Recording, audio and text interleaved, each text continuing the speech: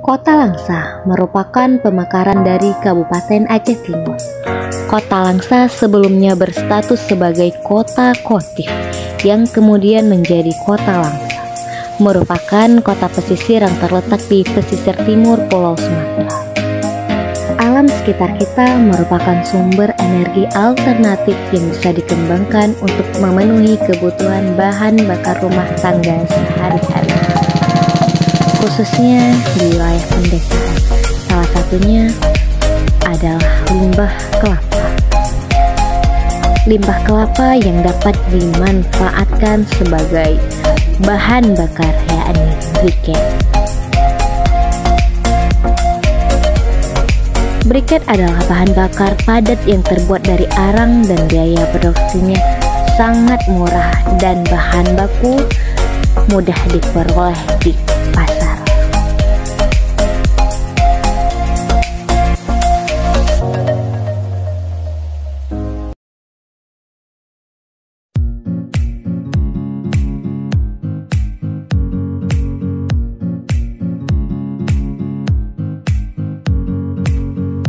Bahan baku yang kita peroleh di pasar seperti tepung kanji, serta peralatan masak yaitu panci, kompor, dan sendok kayu.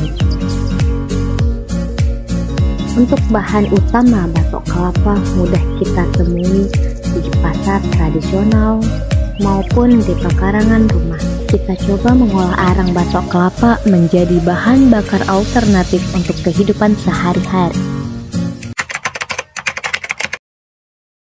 Uh, bang izin tanya ini batok kelapa ini setelah dibuat dibuang ke mana bang? Ada dibuang atau dijual? Jual. Dijual. Berapa per kilo? 1200 ya bang ya. Kak ini batok kelapa ini dibawa ke mana kak limbahnya biasanya?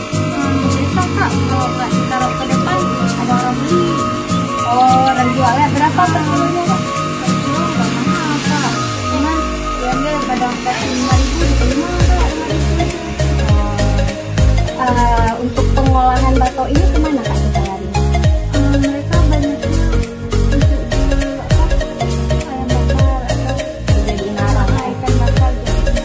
Kalau untuk berikat kakak udah tahu bagaimana pengolahannya batu ini bahwasannya bisa jadi berikat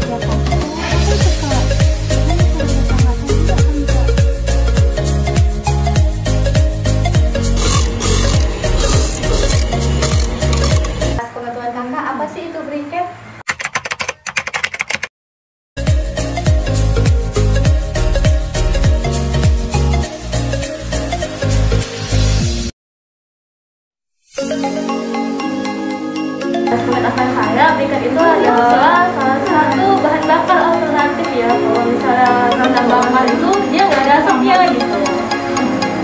Piket ini adalah salah satu bahan bakar uh, alternatif yang digunakan untuk uh, menyalakan api. Dan piket ini merupakan salah satu bahan bakar yang sangat ramah lingkungan.